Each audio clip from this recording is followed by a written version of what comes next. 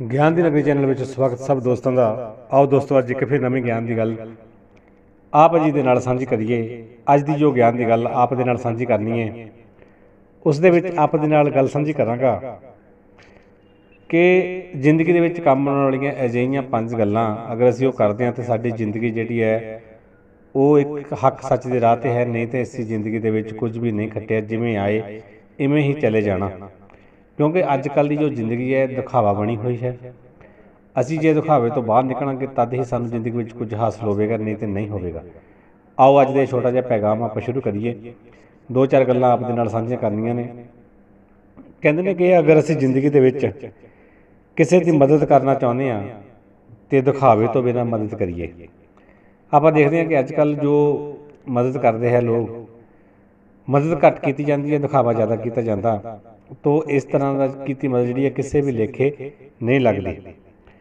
ਅਗਰ ਅਸੀਂ ਕਿਸੇ ਨੂੰ ਕੁਝ ਮਿਲਣਾ ਚਾਹੁੰਦੇ ਹਾਂ ਜਾਂ ਦੇਣਾ ਚਾਹੁੰਦੇ ਹਾਂ, ਤੇ ਮਤਲਬ ਤੋਂ ਬਿਨਾਂ ਦਈਏ। ਅੱਜ ਕੱਲ ਅਸੀਂ ਮਤਲਬ ਰੱਖ ਕੇ ਹੀ ਹਰ ਕੰਮ ਕਰਦੇ ਹਾਂ ਕਿ ਇਹਨੂੰ ਮੈਂ ਆਹ ਕੰਮ ਕੀਤਾ ਤੇ ਇਹ ਮੇਰਾ ਬਦਲੇ ਵਿੱਚ ਆਹ ਕੰਮ ਕਰੇਗਾ। ਮਤਲਬ ਤੋਂ ਬਿਨਾਂ ਲੋਕਾਂ ਦੇ ਨਾਲ ਮਿਲਣਾ ਸ਼ੁਰੂ ਕਰੀਏ, ਫਿਰ ਸਾਡੀ ਜ਼ਿੰਦਗੀ ਵਿੱਚ ਸਕੂਨ ਮਿਲੇਗਾ। ਆਪਾਂ ਸੋਚਦੇ ਹਾਂ ਕਿ ਸਾਰੇ ਇੱਦਾਂ ਕਰਦੇ ਆ। ਜਿਹੜਾ ਕਰਦਾ ਹੈ, ਉਹ ਕਰੀ ਜਾਵੇ, ਪਰ ਅਸੀਂ ਨਹੀਂ ਕਰਨਾ।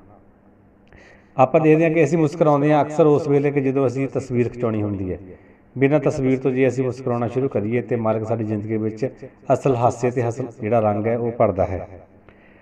ਜਦੋਂ ਆਪਾਂ ਕਹਿੰਦੇ ਹਾਂ ਕਿ ਵਰਤਣਾ ਸਿੱਖੀਏ ਪੈਸੇ ਤੋਂ ਬਿਨਾਂ ਅੱਜ ਕੱਲ੍ਹ ਦੀ ਜ਼ਿੰਦਗੀ ਕੀ ਹੈ? ਅਸੀਂ ਪੈਸੇ ਦੇ ਨਾਲ ਇੱਕ ਦੂਜੇ ਨਾਲ ਵਰਤਦੇ ਹਾਂ। ਜੇ ਕਿਸੇ ਨੇ ਸਾਨੂੰ ਪੈਸੇ ਦੇ ਦਿੱਤੇ ਤੇ ਠੀਕ ਹੈ, ਜੇ ਕਿਸੇ ਨੇ ਸਾਨੂੰ ਪੈਸੇ ਨਹੀਂ ਦਿੱਤੇ ਤੇ ਉਸ ਨੂੰ ਛੱਡ ਦਿਓ।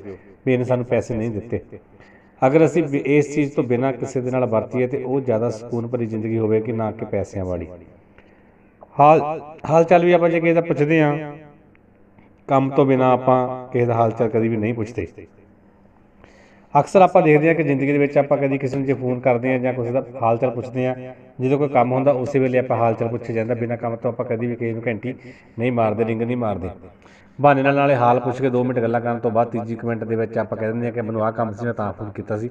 ਇਸ ਤਰ੍ਹਾਂ ਜਿਹੜੀਆਂ ਗੱਲਾਂ ਨੇ ਜੀ, ਇਹਨਾਂ ਤੋਂ ਬਾਹਰ ਉੱਠ ਕੇ ਆਪਾਂ ਚੱਲੀਏ, ਤਾਂ ਸਾਡੇ ਤੇ ਮਾਲਕ ਨਜ਼ਰੀ ਕਰਮ ਕਰੇਗਾ, ਮਿਹਰ ਕਰੇਗਾ ਤੇ ਸਾਨੂੰ ਅੱਗੇ ਲੈ ਕੇ ਜਾਵੇਗਾ। ਤੋਂ ਅੱਜ ਲਈ ਇੰਨਾ ਹੀ, ਜਲਦ ਹਾਜ਼ਰ ਹੋਵਾਂਗਾ ਨਵੀਂ ਵੀਡੀਓ ਨਾਲ, ਤਦ ਤੱਕ ਲਈ ਹੱਕ ਮੁਰਸ਼ਦ, ਸੱਚ ਮੁਰਸ਼ਦ।